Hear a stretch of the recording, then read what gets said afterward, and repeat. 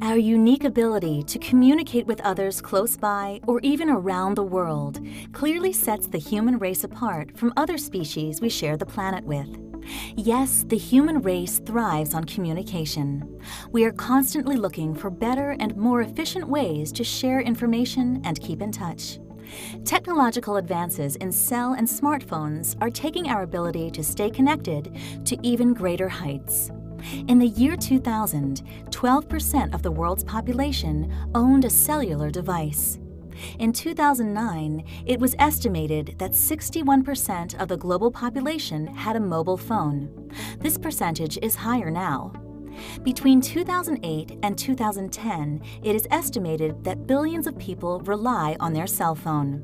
This includes 91% of the USA's population, 68% of China's population, 84% of Japan's population, 123% of the United Kingdom.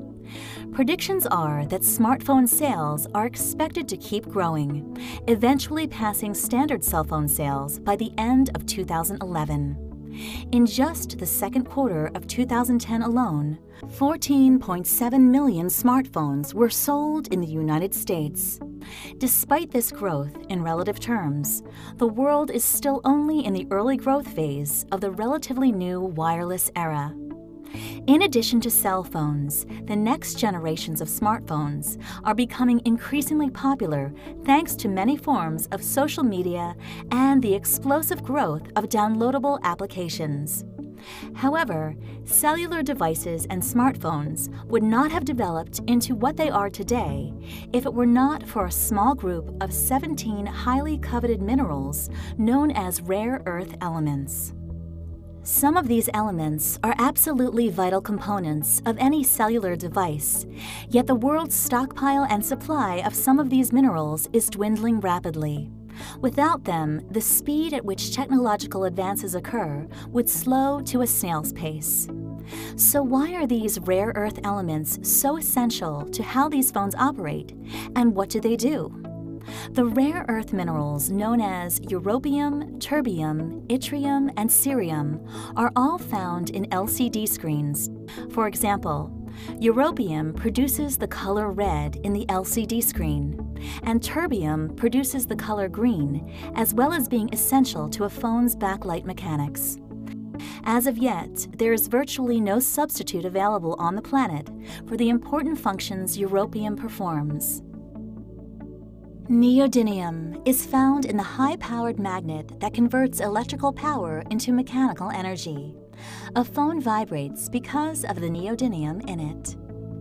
Lanthanum is an integral component of nickel-metal hybrid batteries, which power most cell phones. Yttrium is used in the development of camera lenses, and samarium cobalt is a component in the miniature speakers. Gadolinium is currently being studied as a way to enhance flash memory speed and data storage capacity. Without rare earths, cell phones and smartphones wouldn't include several of the features that make them so functional and vital to the growth of the digital age. There would be no high resolution screen, battery life would be considerably shorter, and the quality and small size of the speakers, camera, or even their vibrating function that helps you enjoy your movies in peace would not be possible. Rare earth elements are also at the core of many of the technologies that power green technologies and alternative energy solutions. Yes, these 17 underappreciated yet extremely essential minerals are so important to the quality of our everyday life and how we will live in the future that understanding the role they play, where they come from, and who supplies them is critical to making sure that we don't run short of them. The kind of future we might have may depend on it. For more information, visit www.kidela.com or follow us at Kidela on Twitter.